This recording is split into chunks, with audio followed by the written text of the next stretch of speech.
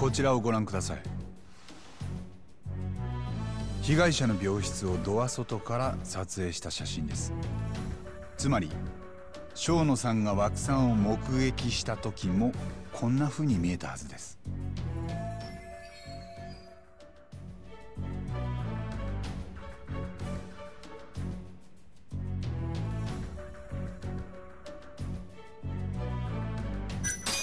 被害者は生野さんが目撃した時にはすでに亡くなっていたんです。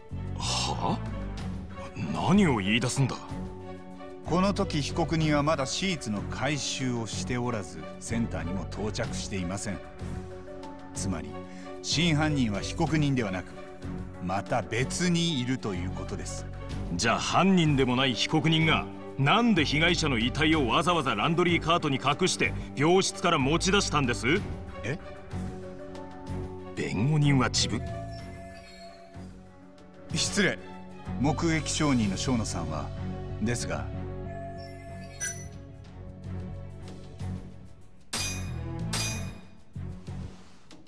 こちらを被害者の病室つまり。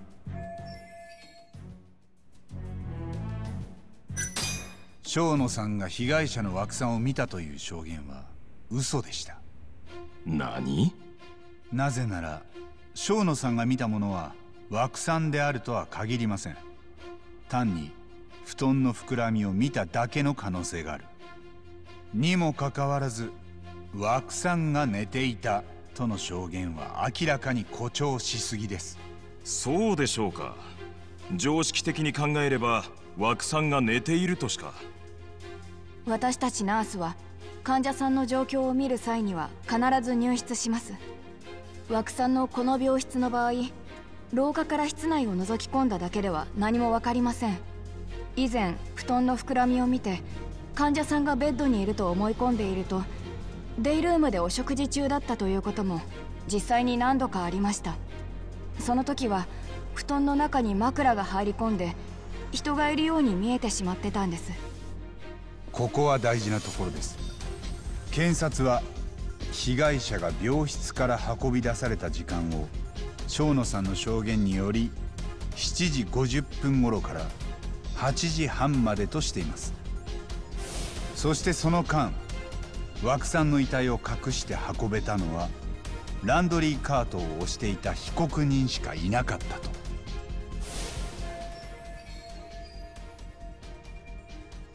しかし生野さんの証言が正確でないなら例えば犯人は前日の夜人目につかない時間に枠さんを連れ出すこともできます。そしてその後隙を伺って被告人のトラックにその遺体を隠すということも。つまり今回の犯行が被告人以外にも十分可能だったということになり検察の主張は根本から覆ります。裁判長この新たな証言を踏まえ検察側証人の生野氏に対して再度尋問させてください。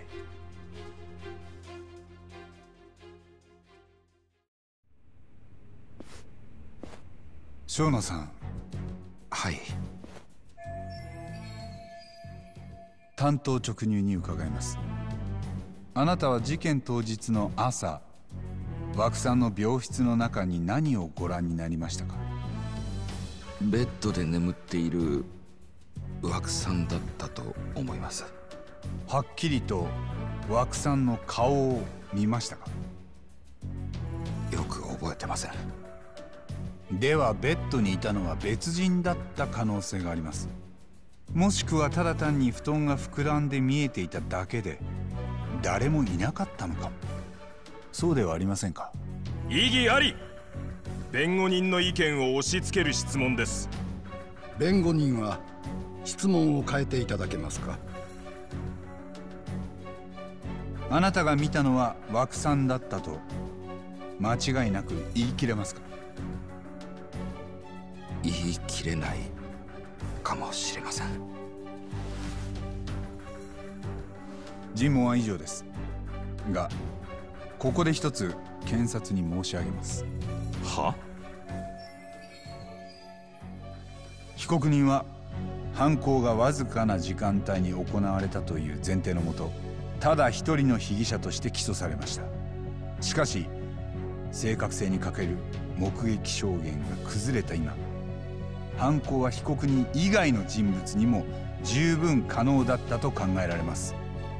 そこで検察は控訴取り消しはお考えになりませんか？もうこの裁判自体が時間の無駄にもなりかねませんので。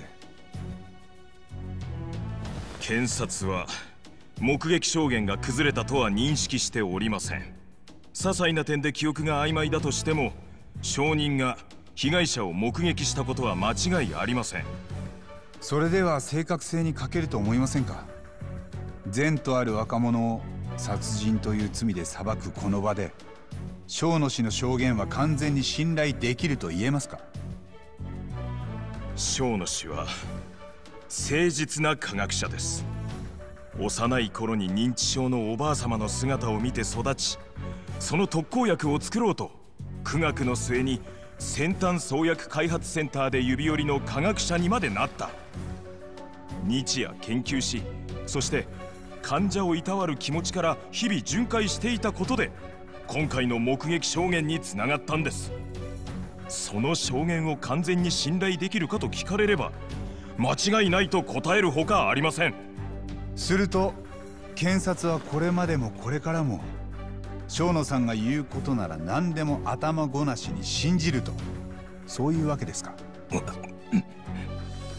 証人の肩書きを信頼しすぎて証言への裏付けが不十分だったのではありませんか？証人の肩書きに左右されることはありません。検察は DV の前科を持つ被告人の証言にさえ聞く耳を持っています。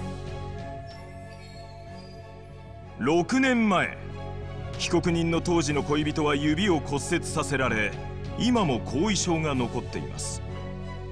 原因は飲酒と些細な日常生活での行き違いでした。一方今回被告人は事件のあった数日前に被害者の枠さんから財布を盗んだと疑われ顔をはたかれています。このことは異常者と言えるほど激しやすい被告人が犯行に至った動機として十分に考えられる。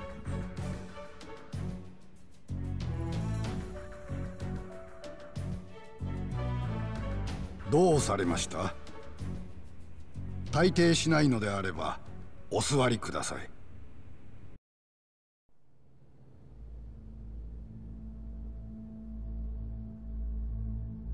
寺沢さん？大久保さんは異常者じゃありません。6年前に暴力を振るってからは一滴もお酒を飲んでません。勝手な発言は控えてください。枠さんに殴られたことも認知症の症状の一つと理解してました。だから恨みなんてしない。それが殺人の理由なんて考えられない。寺沢さんもういい。大久保さんにだっていいところはいっぱいあります。今すぐ退廷を命じます。確かに愛想はいい方じゃないけど仕事熱心だし約束は絶対に守るし大久保さんは万が一自分が有罪になったら私に迷惑がかかるから。だから私に証言はするなって。だから弁護士にさえ。私たちが付き合っていること絶対に言うなって。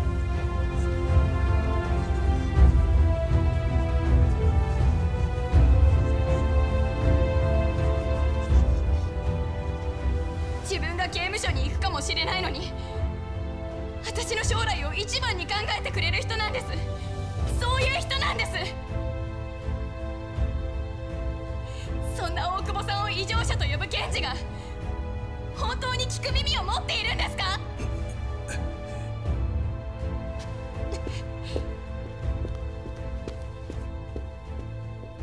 それからも審理は続いたが彼女の捨て台詞が判決の行方を決定づけたように思う。大久保新平は無罪とされた。しかしそれからわずか一月後その大久保の手によって寺沢恵美は無残な姿に変わり果てた。